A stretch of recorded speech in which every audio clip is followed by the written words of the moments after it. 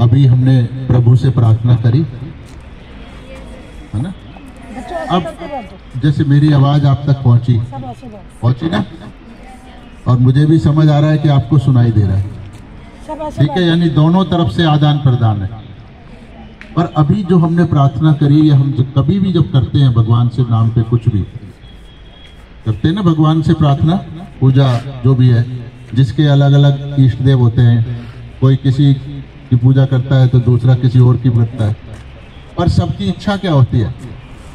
इच्छा तो एक ही होती है कि उसको भगवान का आशीर्वाद मिले।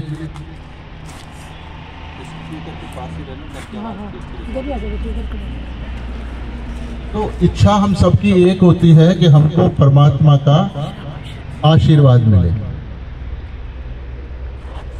उधर क्या देख रही अभी इधर ध्यान दो ना उसको छोड़ दो। जिस काम को करते हैं हमेशा पूरा ध्यान वहाँ अगर हम फोकस नहीं करेंगे तो फिर वो काम होगा ही नहीं। फिर आप मेहनत करते चले जाओगे फिर कहोगे ये तो हुआ नहीं। तो कोई भी काम करना होता है लाइफ में वो फुल अटेंशन से करना होता है। पूरा दिल दिमाग वहीं रखना होता है। तो उस काम में सफलता मिलती है। ये हर काम की बात है। ठीक है? चाहे वो घर में आप खाना बना रहे हो चाहे स्पोर्ट्स के है कंपटीशन कहीं भी चाहे रोड पे चल रहे हो, चाहे शॉपिंग कर रहे हो, पर पूरा ध्यान वहीं लगाओ जिस काम में आप लगे हुए हो, कर रहे हो, ठीक है? तब परमात्मा तक अगर हमारी बात नहीं पहुंचेगी तो उनका आशीर्वाद कैसे आएगा बात ठीक है? तो अभी मैं आपसे एक सवाल पूछ रहा हूँ कि अभी जो कुछ आपने प्रार्थना करी या घर में करते हो, कभी भी करते हो तो क्या वो प्रार्थना, पूजा जो भी कुछ करते हैं, वो ईश्वर तक, भगवान तक पहुँच जाता है या नहीं पहुँचता? कुछ सबूत मिलता है हमारे को? कोई सबूत होता है? जैसे मेरी आवाज़ का आपको मिल रहा है ना सबूत? कभी कानों में आ रही है, बच्चे गर्दन हिला रहे हैं, चेहरे पे एक्सप्रेशन आ रहा है मतलब मुझे समझ आ रहा है कि आपको सुनाई दे रहा है और समझ भी आ रहा है। यानी मेरी बात आप तक पहुँच रही है। और आपका रेस्पॉन्स भी आ रहा है। तो दोनों तरफ़ से चल रहा है ना ये काम। तो ऐसे क्या हमारे साथ, भगवान के साथ ऐसे होता है कि जब हम भगवान से कुछ भी कहते हैं तो वो भगवान तक हमारी बात पहुँच गई? ऐसा कोई सबूत हमारे पास नहीं होता। पर हम करते ज़िंदगी भर यही काम है। क्योंकि हमारे बुज़ुर्गों ने, गुरुओं ने ये बताया है कि भगवान होते हैं, वो बड़े शक्तिशाली होते हैं और उनके आशीर्वाद के बिना कुछ होगा नहीं। तो हमेशा आपको उनके लिए पूजा पाठ, प्रार्थना करनी चाहिए। ऐसे बताया ना, इसलिए हम लोग करते रहते हैं। श्रद्धा के कारण मतलब। श्रद्धा होती है ना हमारी, तभी करते तो अब सवाल उठता है कि वो बात अगर वहाँ नहीं पहुँच रही तो इसीलिए हमारे आशीर्वाद भी नहीं आते हैं। तो होता क्या है, जो कुछ हमारे जीवन में घटित हो रहा है, वो एक सिस्टम के, जो कुदरत के नियम है, उनके हिसाब से चलता है। अब मैंने बार बार कहा कि हमारी प्रार्थना वहाँ नहीं जा रही। तो इसको सिद्ध भी करना होगा, नहीं जा रही, क्योंकि आज तक तो आप सब लोग यही मानते हो कि जाती है।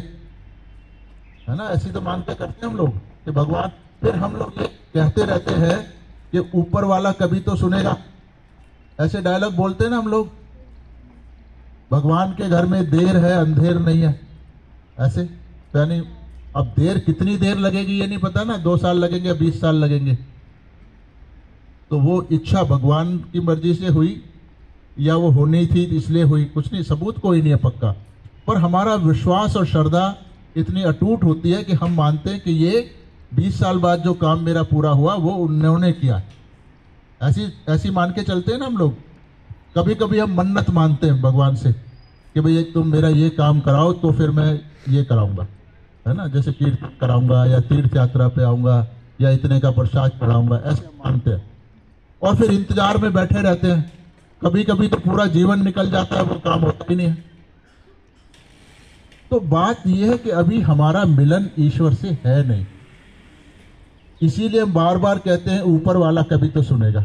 यानी हम लोग ये मानते हैं, इंसान मानता है कि हम मनुष्य ज़मीन पर रहते हैं और भगवान कहीं ऊपर रहते हैं। इसका यही मतलब हुआ ना, दोनों के बीच में दूरी है। तो वो दूरी का हटना ज़रूरी है। परमात्मा और हमारे बीच में जो गैप है, वो गैप हटना ज़रूरी है, यानी हम और ईश्वर मिलकर एक हो जाए, उनसे जुड़ जाए, इसको योग कहते हैं। तो ये किसी आसन से नहीं होगा। तो लेकिन हम लोग योग को क्या समझते हैं कि जो हम आसन वगैरह जो करते हैं, प्राणायाम करते हैं, उसको योग मानते हैं। पर योग की वो एक तरीका तरीका नहीं है वन स्टेप है। जैसे आपको ग्रेजुएशन करना है तो पहली क्लास दूसरी, तीसरी, चौथी होते होते फिर आखिर में ग्रेजुएशन पे जाओगे। स्टेप है ना, एक के बाद एक। तो इसी तरह जब ये योग की बात हुई थी चौदह हज़ार साल पहले तो हमारे बहुत महान ऋषि हुए हैं पतंजलि। क्या नाम था उनका? हाँ जो रामदेव बाबा समझाते ना पतंजलि वो उन्हीं की बात करते हैं। वो चौदह हज़ार साल पहले हुए थे और उन्होंने ये योग की शुरुआत करी थी। उसके उनके योग का नाम था अष्टांग योग। क्या नाम था? अष्ट माने आठ, अंग माने हिस्से। तो यानी पहला हिस्सा पार करोगे, फिर दूसरा करोगे। जैसे आठवीं पास करनी है तो पहली, दूसरी से होके आठवीं पास करोगे, तभी आठवीं गिनी जाएगी ना हमारे को। तो तभी वो डिग्री मिलेगी आपको आठवीं वाली। समझ आ गया पॉइंट तो इस तरह आठ अवस्थाएँ उन्होंने बताई। उसमें से यम, नियम, आसन, प्राणायाम, ध्यान, धारणा, समाधि। तो ये आठ अवस्था उसके बाद समाधि मिलेगी, योग फिर भी नहीं मिलेगा आपको। तो ये इतना कठिन काम था, इसीलिए लोग पूरे जीवन जंगलों में तपस्याएँ करते थे। सुना है ना, टीवी सीरियल देखे हैं धार्मिक? उसमें बहुत सारे ऋषि मुनि बड़ी तपस्या करते हैं। और तपस्या करने के बाद क्या होता था? कभी कभी भगवान की प्रकट हो जाते थे और उनको कहते थे, भाई, बता बेटा, मैं तेरे से खुश हूँ, वरदान मांग। ऐसी चलता था? तो कितने वरदान मिलते थे उसको? एक मिलता था, ज़्यादातर एक मिलता था। कभी कभी दो तीन भी मिलते थे, पर ज़्यादातर एक ही मिलता था। और जिसको भी वरदान मिला, उसी वरदान ने उसको मार दिया। ऐसे हुआ ना? तो कहीं ना कहीं तो गड़बड़ है ना इसका मतलब? वो सारी गड़बड़ हटेंगी, उनको समझाएँगे कैसे हटेंगी। अगर ईश्वर से जुड़ जाएँगे तो फिर अनंत आशीर्वाद मिलेंगे। अनंत अनंत समझते हो ना, जिनकी कोई गिनती नहीं, अंत तक चलते ही जाएँगे जो कभी खत्म नहीं होंगे। तो वो इस प्रोग्राम से मिलते हैं। ये इसलिए बहुत बड़ा प्रोग्राम है ये। बहुत बड़ा का मतलब जो सब कुछ बदलने वाला है, जो हमारे जीवन का अंतिम लक्ष्य है, उसको पाने वाला है। तो जब ये इतना बड़ा काम है तो बिना आपकी मर्ज़ी के ये होगा नहीं। और परमात्मा ने कुछ तो बनाया होगा ना सिस्टम हमारे अंदर, जो इतना बड़ा काम हम कर सके। जैसे शरीर है। शरीर में आँख है, दिख रहा है। और आँख नहीं होगी तो फिर क्या होगा? नहीं दिखेगा, चाहे आप जो मर्ज़ी पूजा पाठ कर लो। समझ आ गया? ऐसी कान है, सुनता है, जवान है, बोल सकते हैं, दिमाग है, सोच सकते हैं। तो यानी हर काम के लिए परमात्मा ने हमारे शरीर में अलग एक अंग बना रखा है। और एक अंग दूसरे का काम नहीं करता है। ठीक है? जैसे आँख से ही दिखेगा, नाक से तो दिखेगा नहीं। तो इस तरह परमात्मा ने हमारे अंदर ये सारा सिस्टम तैयार करके रखा हुआ है। तो ये हर इंसान में एक ही जैसा होगा या अलग अलग होगा?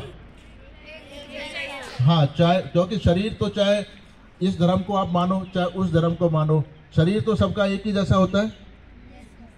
जैसे डॉक्टर के पास जाओगे तो वो इलाज करने से पहले आपसे नहीं पूछेगा ना कि आप हिंदू हो तो मैं जीवन इस ढंग से जाँच करूँगा। ऐसे नहीं तो वो तो उसके लिए शरीर सबका एक है और इलाज भी एक ही है। तो ये सारा सिस्टम हर इंसान के शरीर में एक ही जैसा होता है और फिर दूसरी बात है चाहे वो अच्छा आदमी हो चाहे वो बहुत ही खराब आदमी हो फिर भी यंत्र तो एक ही होगा। ठीक है? तरीका भी एक ही होगा। तो इसलिए ये हर मनुष्य के ऊपर लागू होता है। ये क्या सिस्टम है? अब जब बच्चा पैदा होता है तो उसको इच्छा होती है आता ना बच्चा पैदा होते ही रोता है। देखा है छोटा बच्चा कभी सुना है ना? हाँ वो इसका मतलब है उसको कुछ चाहिए। है ना? इच्छा आने लगी उसको। उसको नहीं पता क्या चाहिए, पर चाहिए कुछ ना कुछ। तो वो ऐसी जब बड़ा होता चला जाएगा तो इच्छाएँ भी बढ़ती जाएँगी। तो ये इच्छा की जो नाड़ी है, ये नीली देखो मैडम दिखा रही है। ये यहाँ से शुरू होकर ऊपर जा रही है और इधर से इधर आ रही है। लेफ़्ट साइड में है ये नाड़ी। ये नाड़ी हमारे शरीर में, मन में इच्छाएँ पैदा करती है। ठीक आगे समझ में इतनी बात? और इच्छा हर इंसान कर सकता है। उसमें कोई मेहनत तो नहीं लगती ना इच्छा करने में। और इस नाड़ी का संबंध हमारे लेफ़्ट बाजू से है। अभी नहीं मालूम, अभी इसको याद रखना है। इच्छा का संबंध किससे है? लेफ़्ट बाजू से। और इस नाड़ी का नाम है ईडा नाड़ी। क्या नाम है? हाँ ये क्या काम करती है हमारे अंदर? इच्छाओं का जन्म देती है, इच्छाएँ कराती है हमारे मतलब ये चालू है। अब इच्छा करते हैं तो उसको पूरा करने के लिए काम करना पड़ता है। तो दिमाग से भी हम काम करते हैं और शरीर से भी करते हैं। तो वो जो शक्ति आती है पीली नाड़ी जो यहाँ से राइट से शुरू होकर ऊपर जा रही है और इधर से इधर आ गई। तो ये इसका नाम है पिंगला नाड़ी। क्या नाम है? और हर इंसान काम करता है। जो खाली बैठा है वो भी कुछ कर ही रहा है ना। और छोटा बच्चा जो अभी पैदा हुआ है वो भी कुछ करेगा। वो दूध पिएगा तो अपनी मेहनत करेगा दूध पीने के लिए। तो काम तो उसने भी चालू कर दिया। ऐसी अगर कोई बुज़ुर्ग अभी मरने वाला है बिल्कुल वो भी कुछ तो कर ही रहा है। तो ये दो नाड़ियाँ हमेशा चलती रहती है पर हमारे काबू में होती हैं थोड़ा थोड़ा तो इस इस नाड़ी का जो संबंध है वो है सीधे हाथ से। पिंगला नाड़ी का संबंध कौन से हाथ से है? राइट हैंड से ठीक है सीधे हाथ से। तो इच्छा और क्रिया दो काम हो गए और तीसरी भी एक और नाड़ी है जो एक हरा देख रहे हो ना, बहुत बड़ा घेरा। इसके ऊपर से चालू होती है तीसरी वाली नाड़ी। ठीक है, हरे घेरे के ऊपर से। इस नाड़ी ये भी चालू है, पर ये हमारे काबू में नहीं है। जैसे अब हम खाना खा रहे हैं, वो हजम होता है। तो हमारी मर्ज़ी से तो हजम होता नहीं, वो तो होता ही है। सांस चल रहा है, हमारी मर्ज़ी से नहीं चल रहा, वो चल रहा है। सुनाई दे रहा है, दिखाई दे रहा है। ये सारे काम दिल धड़क रहा है, हज़ारों काम हैं जो अपने आप होते हैं। तो वो ये नाड़ी करती है, ठीक है? तो ये हमारे काबू में नहीं है। अब ये सारी नाड़ियाँ हमारे सिर के अंदर शरीर में ही है। सारे चीज़ें कहाँ पर हैं? शरीर में। ठीक आगे समझ में? एक और बड़ी शक्ति है जो इन सब ना अच्छा एक और बीच में रह गया पॉइंट ये जो बीच की नाड़ी है इसमें आप देख रहे हो स्टार जैसी चीज़ें हमने बना रखी हैं। ये नीचे से लेके ऊपर तक सात। ये सातवां ऊपर होता है सबसे ऊपर। इनको सहज योग की भाषा में चक्र बोलते हैं। क्या बोलते हैं? चक्र नहीं, चक्र, जैसे सुदर्शन चक्र होता है ना ऐसे। चक्र, शक्ति के केंद्र। अब इन चक्रों का जो संबंध है वो हमारी उंगलियों से और हथेली से। जैसे इच्छा का संबंध पूरी बाजू से, क्रिया का संबंध इधर से और चक्रों का संबंध, सात चक्र है तो पाँच उंगलियाँ, छठा और सातवां, ऐसे, ठीक है? इनका पता यहाँ लगेगा। अब ये चक्र हो गए, तीन नाड़ियाँ हो गई, सात चक्र हो गए। इन सबको चलाने वाली एक और बहुत बड़ी शक्ति है मेन स्विच आप समझ लो, उसको कहते हैं कुंडलनी। क्या कहते हैं? अच्छा टीचर्स को मालूम होगा, जब छोटा बच्चा गोद का होता है तो यहाँ पर तालू उसका धड़कता है, ऐसे ऐसे। अच्छा आपको ही मालूम है? अच्छा तो ये जो धड़कन है यही कुंडलिनी है। तो पर ये बात तो डॉक्टर लोग जानते नहीं कि ये कुंडलनी है। क्या चीज़ है उनको ये भी नहीं मालूम इसके बारे में? काग बोलते ना वो तो हम काग बोल रहे हैं कुंडल कुंडलनी तो मैं बता रहा हूँ ना। काग बोलो तालू बोलो। तो ये परमात्मा की सबसे बड़ी शक्ति हमारे शरीर में है। और इस जो धड़कन है इसका नाम है कुंडलिनी। क्या नाम है? हाँ। ये हमें बनाती है। और जब पैदा हुआ, यहाँ दिख गई। बाद में क्या होगा? जब बच्चा बड़ा होने लगता है तो ये तो बंद हो जाता है द्वार। हड्डी मज़बूत होकर द्वार बंद हो जाता है, फिर धड़कन भी नहीं रहती यहाँ पे। तो वो धड़कन कहाँ जाती है? ऊपर से नीचे की तरफ़ गिरती है, और जो रीढ़ की हड्डी है, सबसे नीचे। उस हड्डी के अंदर जाकर ये बैठ जाती है, ये शक्ति। भगवान की सबसे बड़ी शक्ति यहाँ बैठती है। तो अब ये काम क्या करती है? जो कुछ भी हम अच्छा बुरा जो भी कर्म करते हैं। कहते हैं ना, भगवान के पास सबका है हिसाब। ऐसा सुना आपने? तो कहाँ पर है वो? वो आप ही के शरीर में उन्होंने ये सारा सिस्टम फिट कर रखा है। इसीलिए भगवान से छुपा के आप कोई काम नहीं कर सकते, क्योंकि तो आप ही के शरीर में सारा सिस्टम फिट है। तो ये आपके कर्मों को रिकॉर्ड करती रहती है और आपसे कुछ नहीं कहती। समझ आ गया पॉइंट अब इसी कुंडलिनी को जगाना है। जितनी भी तपस्याएँ ऋषि मुनि करा करते थे, वो इसी को जगाने के लिए करते थे। और ये इतना मुश्किल काम होता था कि हज़ारों जन्म तपस्याओं के बाद भी, कितने जन्म? हज़ारों जन्म, ना कि एक ही जन्म। कठोर तपस्याओं के बाद भी पूरी पृथ्वी पे दो चार लोगों की जगह होती थी। इतना मुश्किल काम है पर अब ये काम आसान बना दिया है। अभी हम असेंबली में भी कर रहे हैं इसी काम को। तो ये आसान बनाया है श्री माता जी निर्मला देवी जी ने। किसने? श्री माता जी ने।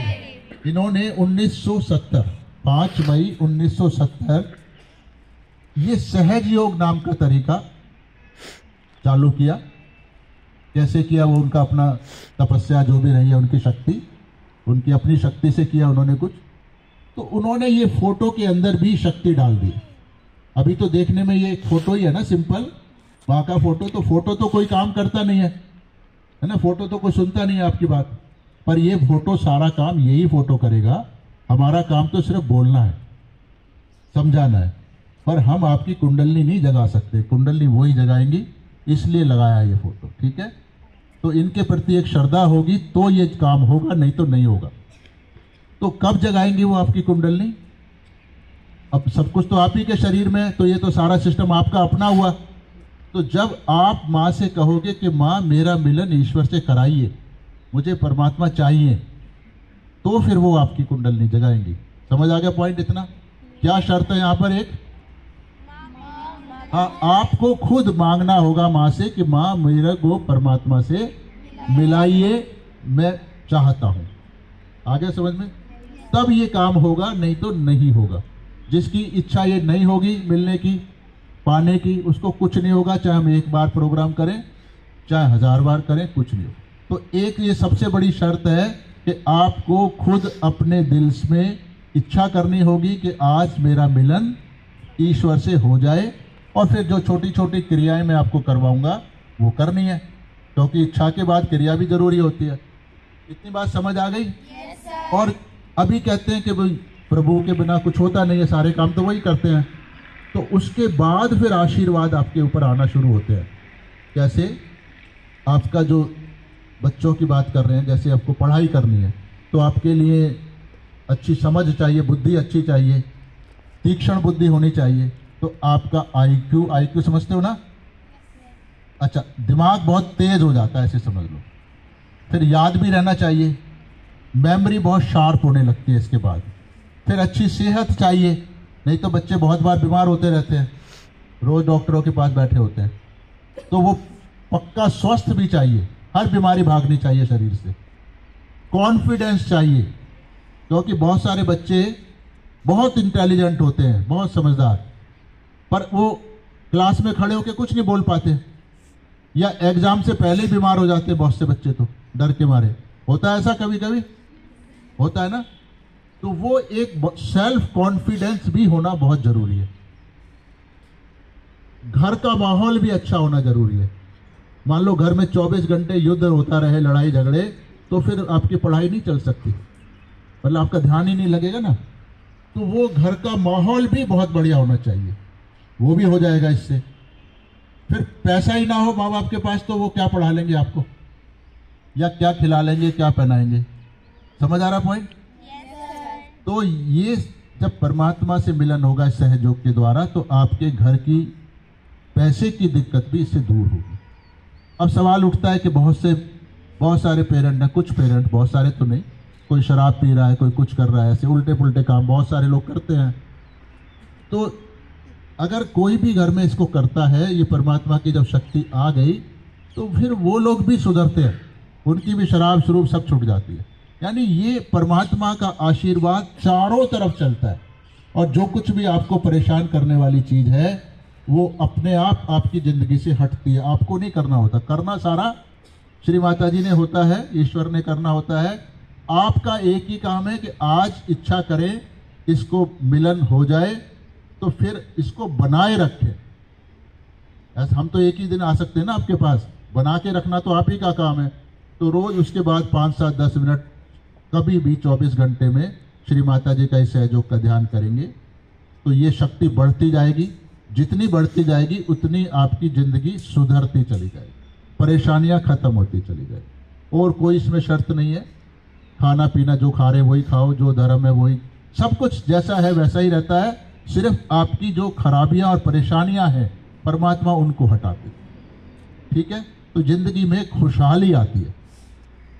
तो इसको करें अब। क्या शर्त रखी है अभी मैंने आपको? कि आपकी अपनी इच्छा होनी चाहिए ईश्वर को पाने की तो ये होगा, नहीं तो नहीं होगा। अभी जूते उतार के अपने साइड में रख लो। क्योंकि ये सबसे बड़ा काम है ना ईश्वर को पाना। जुर्रा- जुर्राब पहने रखो। जुर्राब नहीं उतारने हैं, सिर्फ़ शूज़ उतारने हैं। बिल्कुल प्रसन्न होकर बैठे। ये नहीं सोचे कि ये कैसे होगा।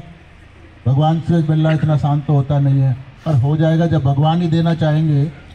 तो फिर तो हो ही जाएगा ना। तो अब पहले हम देखेंगे आँख खोल के कि हम करना क्या है, फिर सारी क्रियाएँ आँख बंद करके करेंगे। ठीक है? आप लोग भी करें तो आपको फ़ायदा होगा।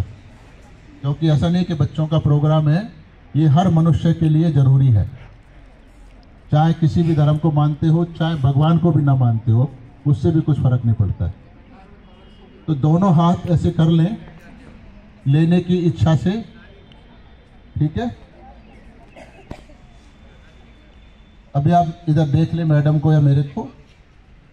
और सबसे पहले अपने फर्श पे ही रख लेना, हाथ गंदे करने की ज़रूरत नहीं है। राइट हैंड की हथेली को ज़मीन पे रखना होता है राइट हैंड तो फर्श पे ही रख लो साइड में। सीधे हाथ की हथेली को अपने बराबर में फर्श पे रख ले। फर्श पे टिकानी है, हथेली टिकानी है।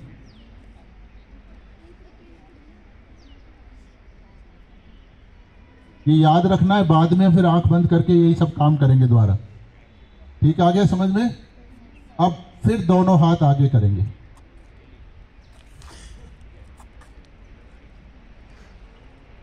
लेफ़्ट हैंड को कोहनी के पास से मोड़ लेंगे।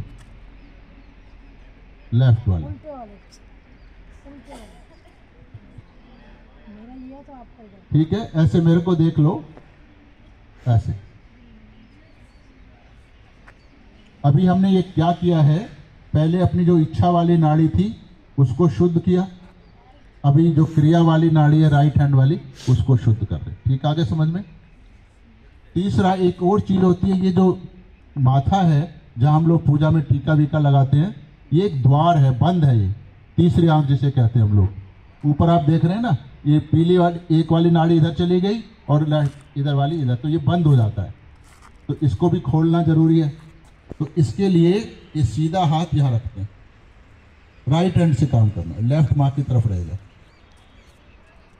लेफ़्ट अपनी गोदी में माँ की तरफ़ रखो। देखो ऐसे ये ये यहाँ ही रहेगा ऐसे। इसको नहीं हिलाना ये तो इच्छा का हाथ है ना कि माँ इच्छा है हमारी इसको दो। इससे पकड़ लेंगे थोड़ा सा दबाएँगे और गर्दन ऐसे झुकाएँगे ठीक है? उसके बाद इसी हाथ को सिर के पीछे ले जाएँगे। माथे का एकदम पिछला हिस्सा और ऐसे आकाश की तरफ़ गर्दन मोड़ेंगे। और जितना भी प्रार्थना करेंगे, वो तो आँख बंद करके भी आपको सुनाई देंगे। ठीक है? उसके बाद ये जो तालू था, इसके ऊपर हथेली का गड्ढा लगा ये राइट हैंड वाली हथेली का ऐसे गड्ढा। राइट हैंड से काम कर लेफ़्ट नहीं हिलाना। हाँ बच्चे लेफ़्ट तो माँ की तरफ़ ही रहेगा हमेशा। अभी आप मुझको देखो देखो, ऐसे नहीं करना। ऐसे ठीक है? जिससे ये बीच वाला हिस्सा यहाँ लगाना है। और अभी आप मुझे देखते रहें, गर्दन अभी नहीं झुकानी है, वो बाद में करेंगे आँख झुका, बंद करके, ठीक है? इस तरह करवाऊँगा बाद में मैं, यहाँ दबाकर, ऐसे धीरे धीरे घुमाना है। और मन में कहना है कि श्री माता जी कृपया मुझे मेरा आत्म साक्षात्कार दीजिए। बोल के सुनाओ मेरे साथ। श्री माता जी कृपया मुझे मेरा आत्म साक्षात्कार दीजिए। छोटे बच्चों को आता है बोलना? ठीक है, अब दोनों हाथ, ऐसा हम सात आठ बार का मांगेंगे, फिर आगे कर। ठीक है, अब दोनों हाथ श्री माता जी की तरफ़ कर लो। और उन्हीं को देखो, आप मुझे नहीं देखिए बाप। पूरा ध्यान उन पे लगाना है। दिख रहा है फ़ोटो सबको पीछे से? तो पूरा ध्यान श्री माता जी पे रखें इधर उधर ना देखें। जैसे एक माँ को देखते ना, प्यार से, श्रद्धा से, ऐसे। और जैसे ही फ़ोटो याद हो जाए तो धीरे धीरे आँखें बंद कर लें।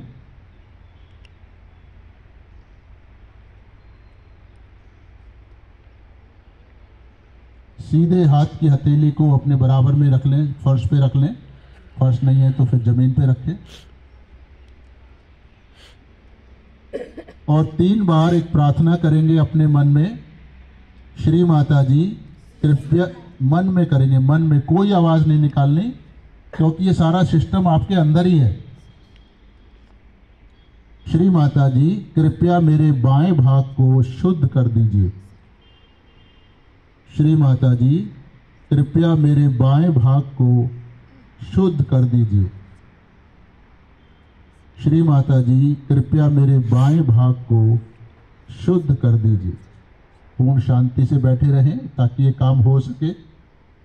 जब भी मैं प्रार्थना करवाऊँगा आपसे, उसके बाद पूर्ण शांति से कुछ देर बैठना है, ताकि वो काम हो जाए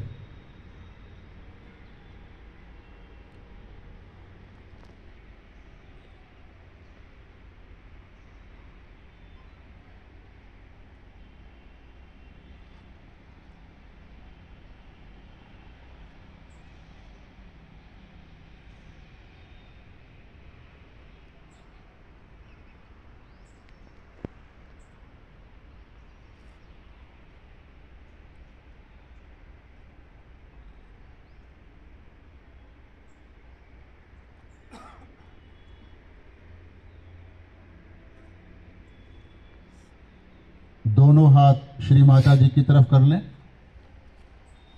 आँखें बंद रहेंगी। अब लेफ़्ट हैंड को कोहनी के पास से मोड़ दें ताकि उंगलियाँ आकाश की तरफ़, हथेली पीछे की तरफ़ हो जाए। यहाँ फिर तीन बार हम श्री माता जी से प्रार्थना करेंगे। श्री माता जी, कृपया मेरे दाहिने भाग को शुद्ध कर दीजिए। श्री माता जी कृपया मेरे दाहिने भाग को शुद्ध कर दीजिए। श्री माता जी कृपया मेरे दाहिने भाग को शुद्ध कर दीजिए। पूर्ण शांति से बैठे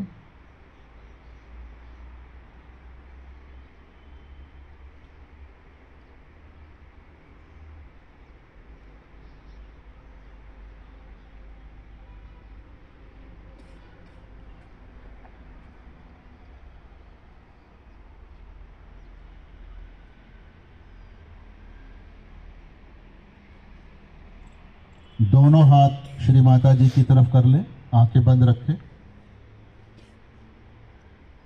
तीन बार एक प्रार्थना करें, श्री माता जी कृपया मुझे संतुलित कर दीजिए। श्री माता जी कृपया मुझे संतुलित कर दीजिए, बैलेंस कर दीजिए। श्री माता जी कृपया मुझे संतुलित कर दीजिए।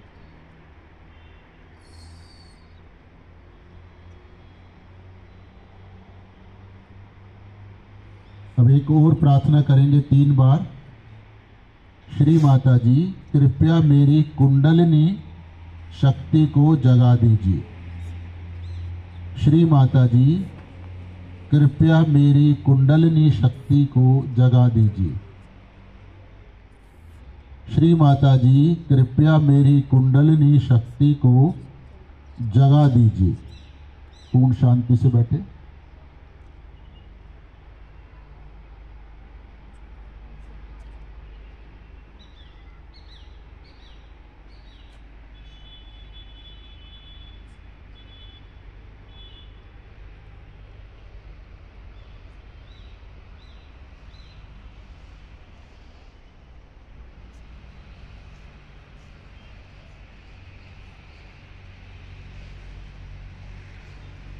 अब राइट हैंड से अपना माथा पकड़ेंगे।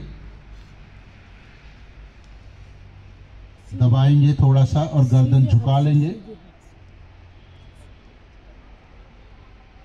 और तीन बार या चार बार, पाँच बार, जितनी बार भी आपको अच्छा लगे, मन से कहें, दिल से कहें, श्री माता जी मैंने सबको क्षमा कर दिया।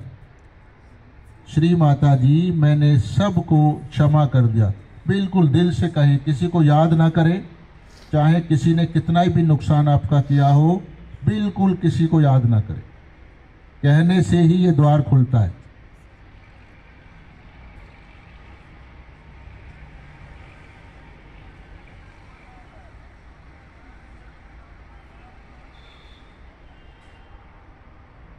इसी हाथ को सिर के पीछे ले जाएँ, आँखें बंद रखें, गर्दन आकाश की तरफ़ मोड़ लें।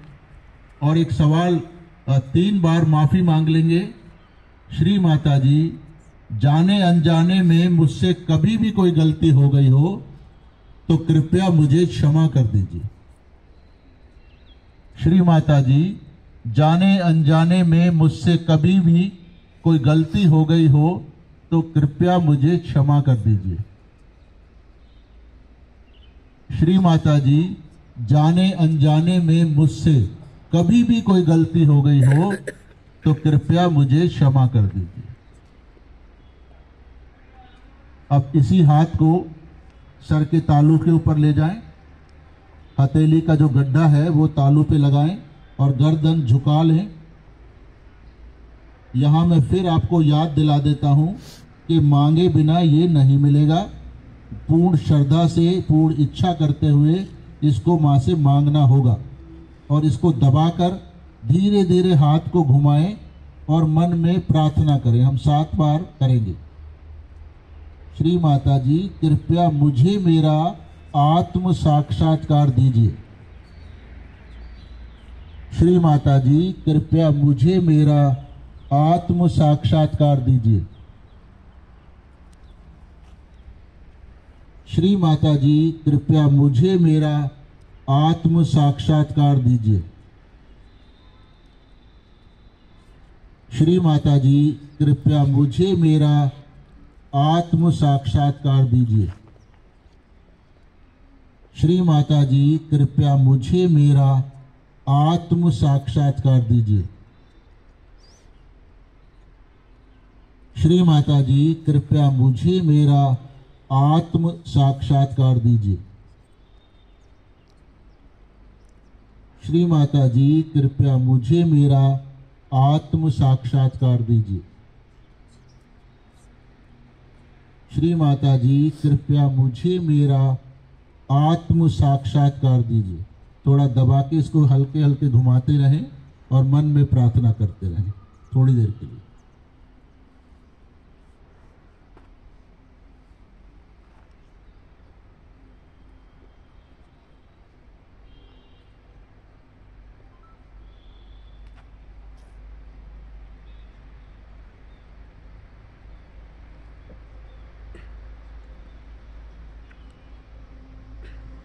धीरे धीरे दोनों हाथ श्री माता जी की तरफ़ कर लें।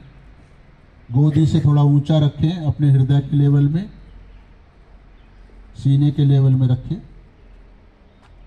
बहुत धीरे धीरे आँखें खोलें, माँ को देखें। पूरा ध्यान उन्हीं पर रखें। और श्री माता जी को देखते हुए थोड़ा सा ध्यान दें कि क्या आपके एक हाथ में या दोनों हाथों में कुछ महसूस हो रहा है? जैसे कुछ हल्की सी ठंडक होती है, गर्माइश होती है, कुछ भारी फंसा हो जाता है, कोई चींटियाँ सी काटने लगती हैं, कोई धड़कन सी आने लगती है, या कुछ अंदर घूमने लगता है। सबको बहुत सारी अनुभूति है, सबको अलग अलग होता है। कुछ लोगों को दोनों हाथों में बराबर होता है, कुछ को अलग अलग होता है। तो आपको जो महसूस हो रहा है, वो थोड़ा सा ध्यान दें।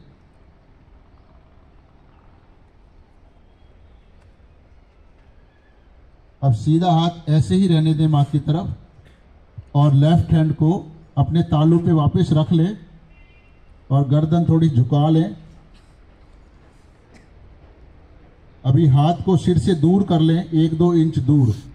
बालों को नहीं छूना है। आँख बंद करके थोड़ा ध्यान दें कि क्या आपके सिर के अंदर से कुछ निकल रहा है। कुछ हल्का सा ठंडा है, गर्म है या कुछ एनर्जी जैसी है, सबको अलग अलग होता है। अगर किसी को नहीं पता लग रहा तो वो कहे, माँ, मुझे क्षमा कर दो। श्री माता जी कृपया मुझे क्षमा कर दीजिए। श्री माता जी कृपया मुझे क्षमा कर दीजिए। अब इस हाथ को माँ की तरफ़ कर लें और राइट हैंड से चेक करें सर के ऊपर। गर्दन थोड़ा झुकी रहे। अगर इस हाथ में किसी को ना पता लगे तो वो तीन चार बार कह दे, माँ, मैंने सबको क्षमा कर दिया। माँ, मैंने सबको क्षमा कर दिया। माँ, मैंने सबको क्षमा कर दिया। ध्यान दें कि क्या निकल रहा है सर के अंदर से। अब सीधा हाथ माँ की तरफ़ कर लें। एक बार फिर उल्टे हाथ से लेफ़्ट हैंड से चेक करें, सर के ऊपर।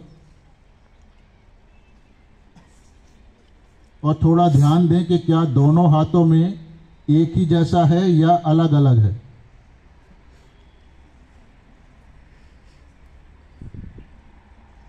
धीरे धीरे दोनों हाथ श्री माता जी की तरफ़, उन्हीं को देखें। और महसूस करें कि अब आपके एक हाथ में या दोनों हाथों में क्या लग रहा है। कोई भारीपन है ठंडक है, गरमाइश है झंझनाट कुछ भी। अब ये जानने के लिए कि क्या आया है हमारे शरीर में, हमारे हाथों पे या हमारे सर पर। ये कौन सी शक्ति है? ये जानना चाहते हैं ना, तभी तो वो इस्तेमाल कर पाएँगे। तो इसको जानने के लिए धीरे धीरे दोनों हाथ सिर से ऊँचे उठा लेंगे। जिनको कुछ भी महसूस हुआ, वो उठा ले ऊपर, सिर से ऊपर। आकाश को देखें। और एक सवाल पूछें अपने मन में। बोलना नहीं है किसी को बेटा, मन में पूछना श्री माता जी, क्या यही परमात्मा की वो शक्ति है जो सारी सृष्टि को चलाती है? जो हमारे हाथ में या सिर पे आई है, हम उसकी बात कर रहे हैं। श्री माता जी क्या यही परमात्मा की वो शक्ति है जो सारी सृष्टि को चलाती है? श्री माता जी, क्या यही परमात्मा की वो शक्ति है जो सारी सृष्टि को चलाती है? ऐसा पूछने से हाथों में क्या बदलाव होता है? थोड़ा ध्यान दें। धीरे धीरे दोनों हाथ श्री माता जी की तरफ़। उन्हीं को देखते रहें इधर उधर ना देखें। अभी बहुत सारे बच्चों ने हाथ उठाया हुआ था। तो कोई भी बच्चा बिल्कुल विश्वास से मतलब आत्मविश्वास से ईमानदारी से बता सकता है कि उसको कहाँ महसूस हुआ है। घबराना नहीं है जो हुआ तो हुआ नहीं हुआ तो नहीं हुआ ठीक है? कोई भी बच्चा छोटा बड़ा पीछे वाला आगे वाला कोई भी हाँ। तो, तो थोड़ा बताओ खड़े होके बताओ कहाँ क्या हुआ है। नहीं तो तुम तो कॉन्फिडेंस बड़े बच्चे हो। हाँ क्या कहाँ पर क्या महसूस? नहीं बोलोगे?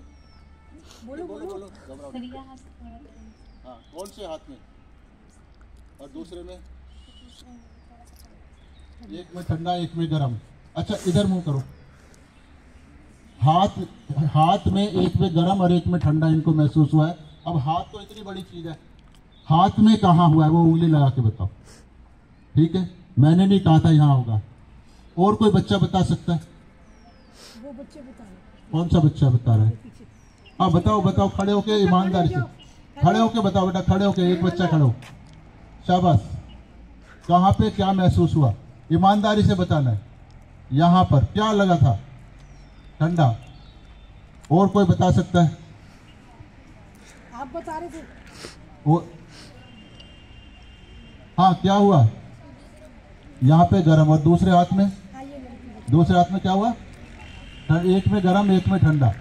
अच्छा हाँ बेटा, क्या बता रहे हो? चलो, मैं वही माइक लाता हूँ, तेरे जुड़ाव कर रहा हूँ। हंसो नहीं हंसो नहीं, ये बहुत बहुत बड़ी चीज़ है, यही परमात्मा है।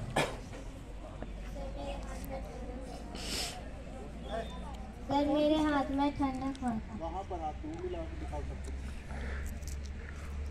तो इतने बच्चे काफ़ी हैं ना? अच्छा बहुत सारे बच्चे शर्माते हुए भी नहीं बताते हैं। तो कितने बच्चे हैं? जरा हाथ खड़ा करके बताएँ जिनको यहाँ हुआ है। ये सबको होता है। तो अब मैंने, हाथ कर लो नीचे, शाबाश। अभी मैंने आपको प्रोग्राम में कहीं पर भी ये नहीं कहा कि आपको यहाँ पर कुछ होगा। नहीं बताया था ना? है ना? और क्या होगा ये भी नहीं बताया था। तो इसका मतलब है कि आपको हो रहा है तो पता लग रहा है। समझ आ गया पॉइंट तो जैसे हमारा शरीर है, हर चीज़ को बताता है ना? भूख प्यास दर्द, सर्दी, गर्मी, सबका पता शरीर पे लगता है। तो आज इस परमात्मा की जो शक्ति है, जो कण कण में भगवान कहते हैं ना हम लोग, आज वो आपके शरीर से जुड़ी है। तो इसलिए वो यहाँ से और यहाँ से निकलने लगी अब यहीं से क्यों निकलने लगी है? ये भी एक सवाल है, समझ, क्योंकि तो हर काम को समझ के करना होता है। नहीं तो फिर वो भेड़ चाल हो जाती है, उससे कोई फ़ायदा नहीं होता है। अब मैंने आपको दो तीन बातें बताई थी। एक बताया था कि इच्छा की नाड़ी का संबंध, लेफ़्ट बाजू से, ठीक है? क्रिया का संबंध और चक्रों का संबंध, उंगलियों से और हथेली से, ठीक है? यही बताया था। आप अगर देखेंगे तो ये चक्र जो है वन ये मैडम बता रही है फोर फाइव सिक्स और ऊपर सेवन सेवन का सारे कलर है उसके अंदर. दिख रहा है ना कलर वही कलर बिल्कुल हथेली के बीचों बीच है. तो इसका मतलब है इस चक्र का संबंध हथेली के बीचों बीच है. सेवन ये ऊपर का जो चक्र है, सातवां सहस्त्रार चक्र, इसका संबंध आपकी हथेली के बीच में है. तो सातवां ये है, पाँच ये है, और सबसे छोटा वो होता है यहाँ पर। वो अभी आपको नहीं पता लगेगा, वो श्री गणेश का होता है। तो इस, इसका मतलब है कि ये कुंडलिनी शक्ति इसको पार करके बाहर आ गई है। यही तो बताया था मैंने आपको कि ये ये कनेक्शन जुड़ जाएगा। तो जुड़ा तो आपके शरीर में ईश्वर की शक्ति आने लगी है। अब एक हाथ में कुछ अलग लगा, दूसरे में कुछ अलग लगा, ऐसा भी बहुत सारे बच्चों ने बताया। ऐसा आज से पहले हमको नहीं मालूम था कि हमारे दोनों हाथ अलग अलग होते हैं। हमें तो एक ही जैसे लगते थे ना, एक लेफ़्ट एक राइट है। तो दोनों में अलग एनर्जी होती है, ये हमें आज तक नहीं पता था। तो आज आपके शरीर ने खुद बताया कि हाँ भाई, इसमें अलग है और इसमें अलग है। क्यों? क्योंकि जो नीली नाड़ी है, इच्छा वाली, ईडा नाड़ी, उसका देखो एनर्जी कहाँ से आ रही है ऊपर? चंद्रमा से। उसकी एनर्जी, लेफ़्ट की एनर्जी चंद्रमा से आती है। और राइट वाली नाड़ी की एनर्जी कहाँ से आती है? सूर्य से। तो दिन रात ये चलते रहते हैं ना हमारे तो दोनों नाड़ियाँ चलती रहती हैं। तो इसलिए दोनों एनर्जी जब अलग अलग है तो आपके हाथों में आज वो अलग अलग महसूस हुई है। जब आप रोज ध्यान करोगे मतलब कितने मिनट? पाँच मिनट मुश्किल से चार पाँच, दस, जो भी ठीक लगे, चौबीस घंटे में कभी भी आसान है ध्यान करना, जैसे अभी आप ऐसे हाथ खोल के बैठे हो। ऐसे ही बैठ जाना कहीं पर भी। माँ को याद करना। फ़ोटो मिल जाए तो यूट्यूब से मिल जाता है फ़ोटो, वीडियो। उसको लगा लो आगे। नहीं मिलता है, किसी वजह से। मान लो सबके पास मोबाइल नहीं होता है। तो ऐसे ही हाथ खोल के बैठ जाना।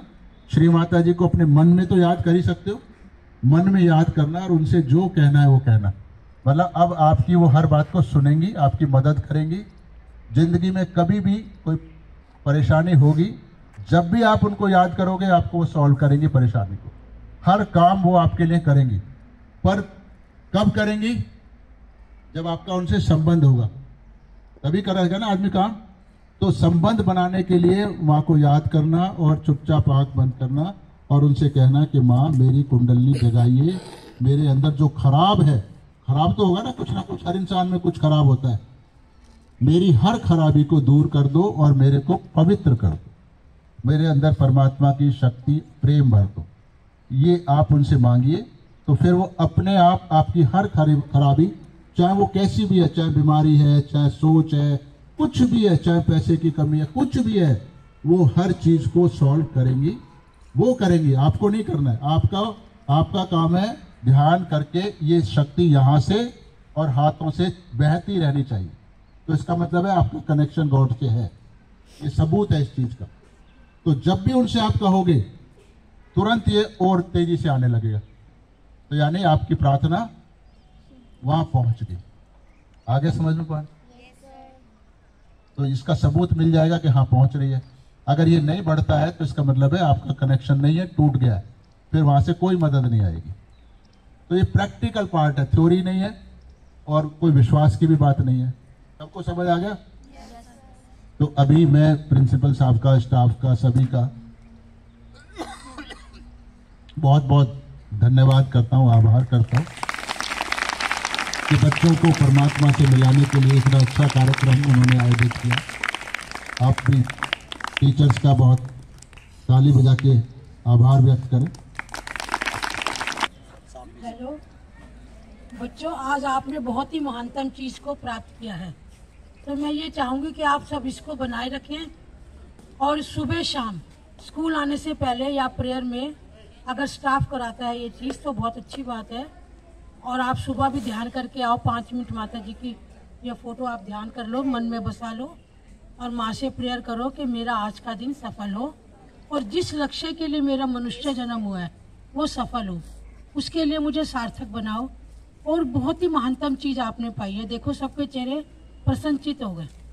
फ्रेशनेस आई ना आपको अच्छा लगा? कैसा लग रहा है आपको? जैसे बहुत सालों के बाद नींद से जागे हो। एकदम फ्रेश।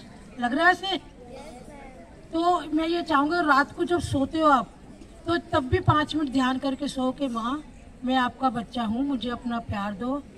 मेरा आत्म साक्षात्कार हमेशा आपसे बना रहे और आपको देखना फिर नींद अच्छी आएगी। और जो कुछ भी आप याद करोगे जैसे सर ने बताया आपका आईक्यू लेवल बढ़ जाएगा आपको याद रहेगा।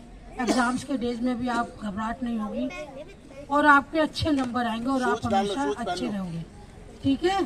तो मैं आपका धन्यवाद करती हूँ। आपने बहुत अच्छा से किया और अपना कीमती समय दिया। सारे स्टाफ का भी धन्यवाद करती हूँ। और अगर टीचर्स को फोटोग्राफ चाहिए तो हमसे ले सकते हैं।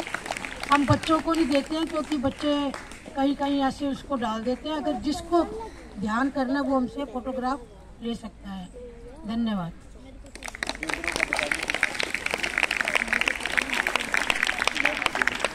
हमारी जो साइट है www.सहयोग.org तो हमारी साइट को खोल के आप इनका फोटोग्राफ भी ले सकते हैं।